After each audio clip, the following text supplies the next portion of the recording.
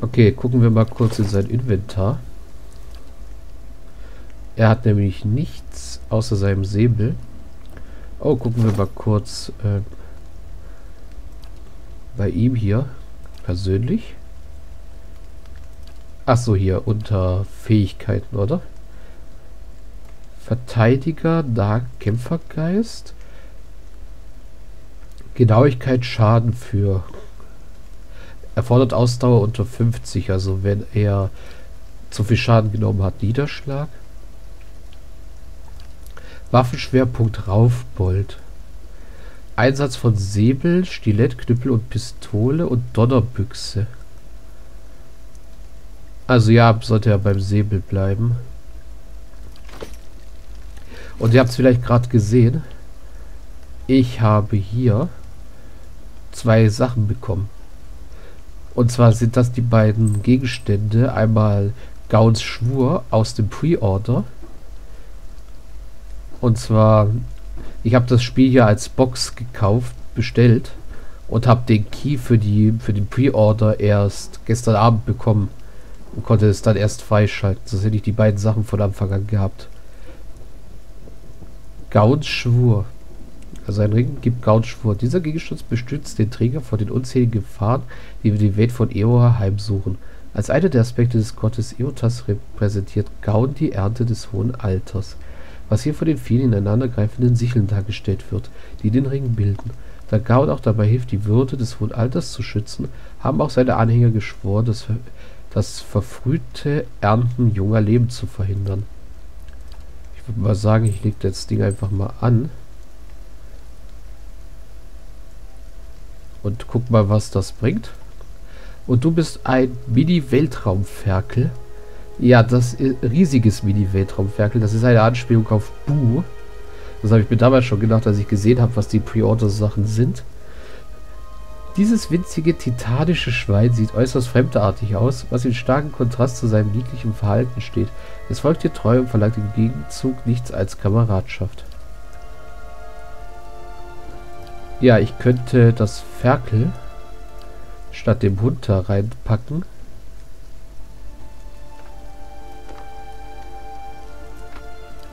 Dann läuft mir jetzt das hinterher. Alright then. Hm. Genau. Wobei das nicht so mini aussieht. Aber ich nehme erstmal, glaube ich, den Hund. Ich weiß nämlich noch nicht, was Haustiere machen. Außer vielleicht äh, einfach nur niedlich aussehen. Gut, also wir haben unser drittes Gruppenmitglied. Ah, right. Das ist schon mal sehr gut.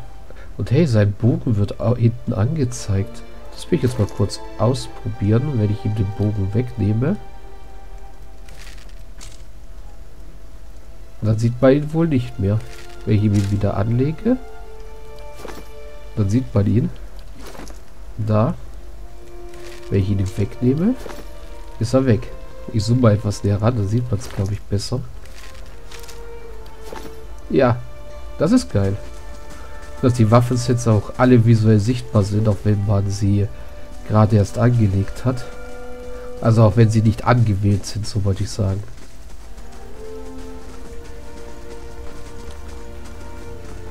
So, und jetzt kann ich auch eine ordentliche Formation hier bilden.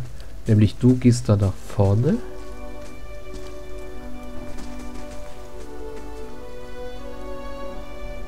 Ähm, Sehe ich die Formation irgendwie falsch?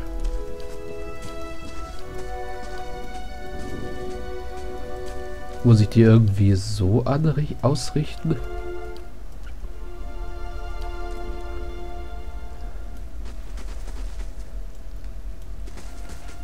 Nee.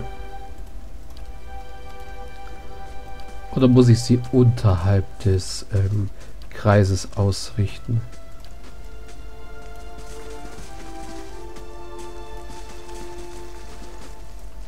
Naja, egal. Oh, ich muss ja auch erst auswählen. Das macht natürlich schon eher Sinn. Und eine Mühle. Oh, die wird belagert. Svenur. Trumbel, wir wissen, dass da drin noch mehr Getreide ist. Wir werden uns nicht mit ein paar Krümeln zufrieden geben, während du dich an unseren Feldfrüchten fett frisst. Aus der Mühle dringt gedämpftes Geschrei. Der erste von euch Suffköpfen, der durch die Tür kommt, kriegt eins direkt zwischen die Augen. Svenor, die Götter seien meine Zunge, ich werde dich wie ein Hund zur Strecke bringen. Lass uns erstmal abziehen, Leute, aber wir kommen zurück, hörst du, Trumpel? Und wenn wir zurückkommen, dann wirst du uns einen fairen Preis bieten, sonst werden wir mit dir abrechnen, so wahr uns die Flamme helfe. Okay, ein Zwerg, der hier Stunk macht. Immer auch mal schön gucken, ob hier noch genau Kräuter sind.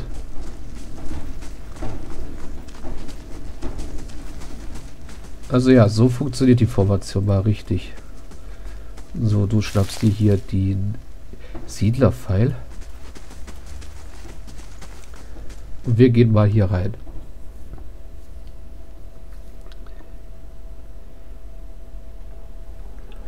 Oh, der ist aber gut bewaffnet. Vor dir steht ein Elf, dessen ziemlich stämmiger Körper auf ein arbeitsreiches Leben schließen lässt. Sein Gesicht ist bleich und erschöpft, seine Augen weit aufgerissen. Hinter ihm tauschen ein Mann und eine Frau beide etwas jünger besorgte Blicke aus. Als du eintrittst, hebt der Müller eine Keule hoch, die in seinem schwachen Griff stark herumschaukelt. Raus mit dir, wenn dir dein Leben lieb ist. Ähm, wir können sagen, ich lasse mich nicht gerne bedrohen, was eigentlich auf Hagrem zutrifft. Aber ich denke, dass sich das hier nur um ein Missverständnis handelt, was Hagrem einsieht. Sagen wir im Moment, ich bin nicht hier, um jemanden zu verletzen. Der Müller zögert und senkt dann die Keule. Moment mal, ich kenne dich. Du bist doch gerade erst im Dorf angekommen, oder? Sag bloß nicht, dass Vader schon seine Krallen in dich versenkt hat. Bei den Göttern, das hat mir gerade noch gefehlt.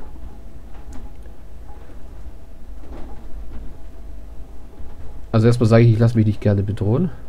Dann haben wir was gemeinsam. Trumpel hebt sein Kinn ein wenig. Angesichts all des Gifts, das ihn Smado in die Augen geträufelt hat, wird es nicht lange dauern, bis sich jemand entscheidet, auf Gewalt zurückzugreifen. Und ich werde es nicht zulassen, dass meiner ganzen Familie etwas geschieht.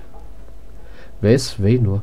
Der Zwerg, der da draußen steht und unter den Dörfern Lügen verbreitet. Dieser Bastard ist schon seit Jahrzehnten hier und er ist im Laufe der Zeit nicht gültiger geworden.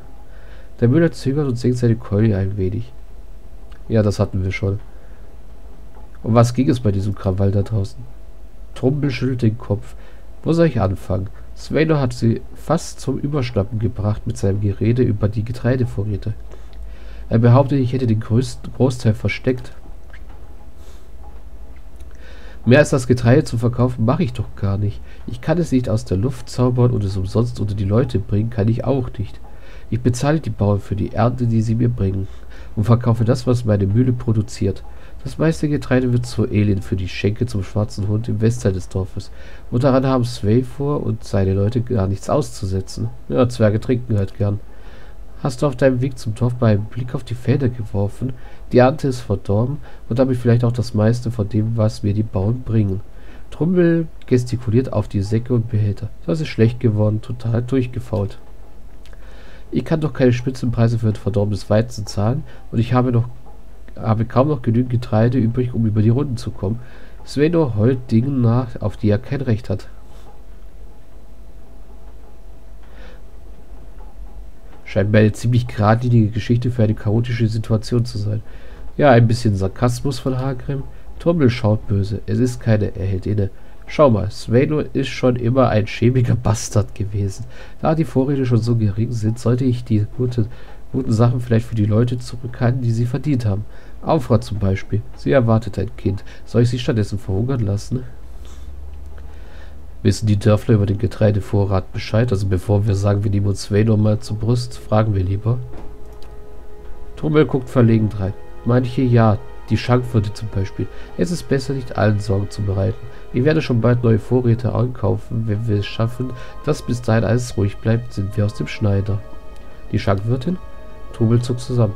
Ich würde das eh lieber nicht trinken. Mehr sage ich nicht. Vielleicht sollte ich mich mal mit diesem Sveno unterhalten. Der Müller sackt fast vor Erleichterung zusammen.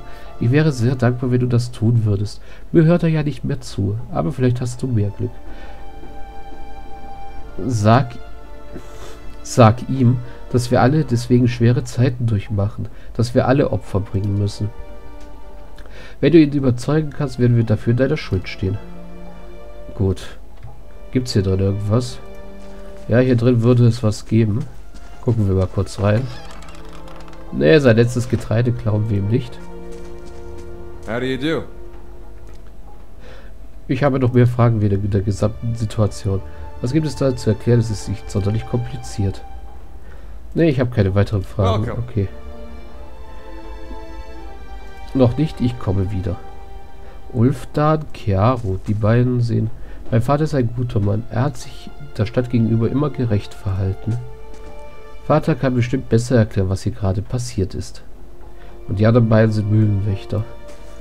Ich finde es auch schön, wie hier alles sich bewegt. Was sagt der... Von diesem breiigen, grün befleckten Getreide geht ein widerlicher Geruch aus. Okay, das Getreide ist definitiv vollkommen verschimmelt.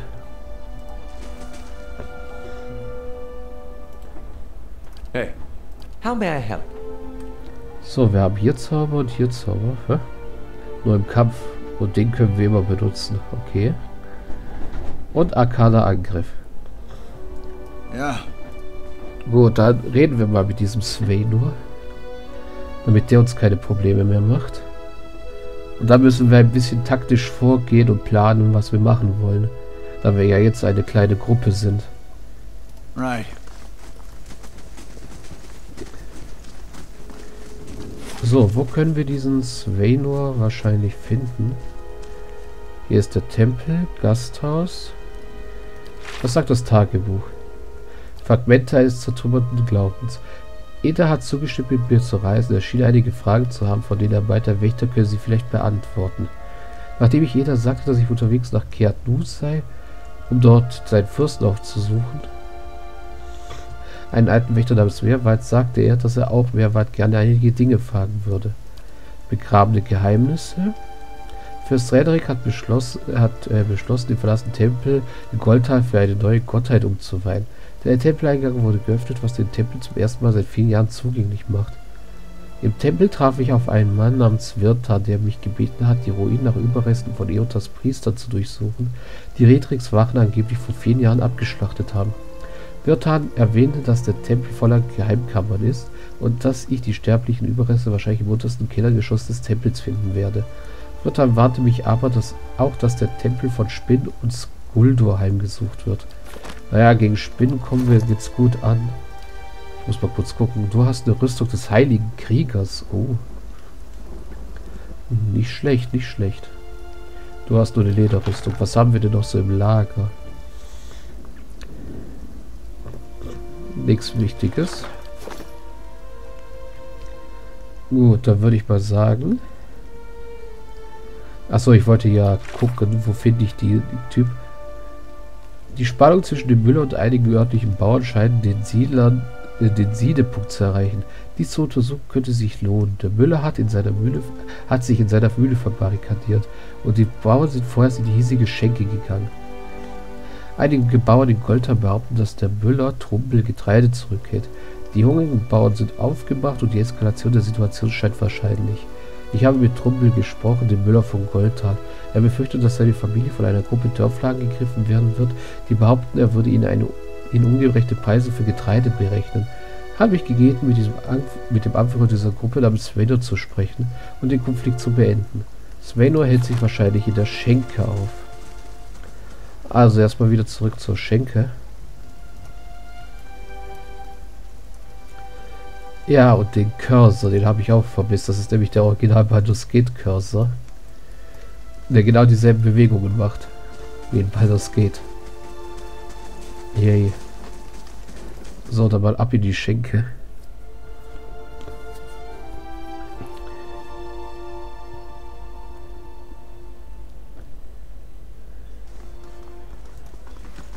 So, wo ist dieses Svenor?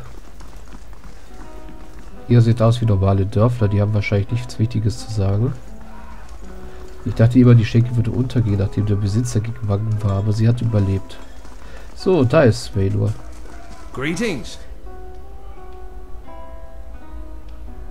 Ich weiß nicht, wer du bist und es ist mir auch ziemlich egal. Geh weiter, wir sind nicht hergekommen, um mit Ausländern zu plaudern. Das nimmt sich Hagrim schon mal sehr zu Herzen. Alaf knauft die Augen zusammen. Vorsicht, anscheinend sind sie aus demselben Holz geschnitzt wie diese Schläger, die mich angegriffen haben. Er rümpft seine Nase. Und sie riechen auch so. Ich habe dich vor der Mühle gesehen. Was ist denn da gegangen? Tummel sagt, dass du seine Familie bedroht hast. Oh, das wundert mich gar nicht. Was für ein Adliger dieser Trumpel. Zwei große, starke Kinder, die reinste Seele in ganz Goldteil. Der Zwerg schnaubt. Der Feigling sendet Boten aus, um seine Angelegenheiten für ihn zu erledigen. Na, du kannst zu ihm gehen und ihm sagen, dass wir wegen ihm schon seit Tagen nichts Festes mehr gegessen haben. Dass wir uns wegen ihm die Schenke nicht mehr leisten können. Aber das, was wir uns nicht von seiner Stadt von irgendeinem Ausländer einschüchtern lassen.